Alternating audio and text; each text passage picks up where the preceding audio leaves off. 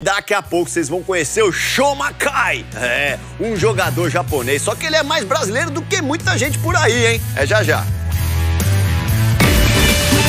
Esse aqui é o Shomakai. Ele é japonês, joga bola aqui no Brasil, mas não é só no campo que ele se destaca, não. O Shoma é mais brasileiro que muita gente. Dá uma olhada.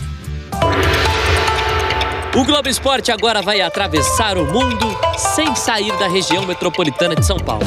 Estamos em Santana de Parnaíba, onde há mais de um ano esse japonês se aventura pelo Brasil.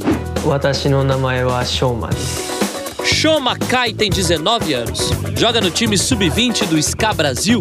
Sempre que dá, deixa seus golaços. Mas o futebol é só um pretexto para uma aula de carisma. Agora, depoimento de repórter, porque quando tem um jogador estrangeiro de uma língua nativa muito diferente do português, a gente fica em dúvida se ele vai entender a nossa pergunta, se a gente tem que fazer em inglês. Ó, no caso do Chama, ele vai perceber. Chama, tá saindo do treino agora. E aí, como é que foi? Fui, treino hoje, fui bem. Eu tava machucado, treinei um pouco, mas fui intenso e tem qualidade. Eu gostei de treino. Ficou surpreso com a fluência dele? Você não é o único. Ele entende mais muito que as pessoas não assim. É? Muito esperto. Mas as pessoas se assustam quando ele fala bem português assim? Se assusta, porque as pessoas acham que ele não tá sabendo o que, ele, que a gente tá falando. E ele sabe. Para entender como o Shoma fala tão bem português, fomos até os locais onde ele aprendeu. Primeiro ao quarto, para a aula online. Gosta de comer. Você gosta de comer. Você gosta de comer. Depois, ao Japão? Sim. Duvida? Aulas online começou faz pouco tempo. Terremoto aqui. É normal? É normal, é normal. Infelizmente é normal. O brasileiro Eduardo mora no país asiático há 20 anos e foi professor de português do Shoma.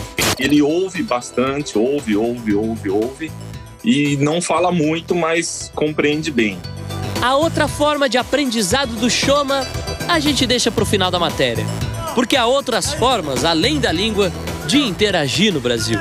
Ele é um meio ofensivo, muito inteligente. Ele tem uma potência de chute boa e tem espaço para jogar no futebol brasileiro, como voltar para tra trabalhar em qualquer país da Ásia. O treinador de Shoma tem conhecimento de causa. Nogueira Júnior trabalhou dois anos no futebol japonês. Portanto. Baca player, né? não, não, não, não, não. Anata wa subarashi. Gambate kudasai.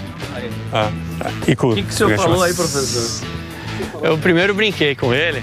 Eu falei que o jogador dele era meio bobão, né? Meio, meio burrinho. Ele falou, não, não, não. Eu falei, brincadeira, né? Diálogos como esse aproximaram técnico de jogador, mas também outros ensinamentos. Por exemplo, o dia em que o japonês foi pra Várzea. Ásia? Várzea. O que, que é Várzea? Foi jogar na Várzea? Quando? Cara, o primeiro jogo ele apanhou. No segundo ele já tava dando. Aí a gente falou, agora brasileiro sabe jogar. Intensidade, né? Muito porrada, tomar porrada. Mas você tomou ou deu porrada? Tomei, depois eu dei. A gente brinca com ele que ele é, ele é um japonês brasileiro, não parece que ele é do Japão. Ah, é diferente, né? Porque geralmente eles são quietos, ele não, já chegou bagunçando.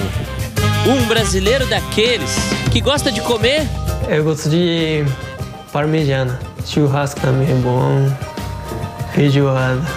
e também de ouvir funk. Tá aí a outra forma que o Shoma usa para aprender português. E se É fogo na inveja. É fogo na inveja. Que que é isso? Shomakai cantando funk, teve até que botar o pi no palavrão, rapaz. Ô, Shomakai, vamos comer a feijoada junto, coisa linda, bem-vindo ao nosso país. Queremos te ver brilhando, jogando por aqui. Tá acabando o Globo Esporte de hoje, amanhã a gente traz tudo da preparação dos paulistas pra Copa do Brasil, tá? Um beijo, até amanhã e tchau.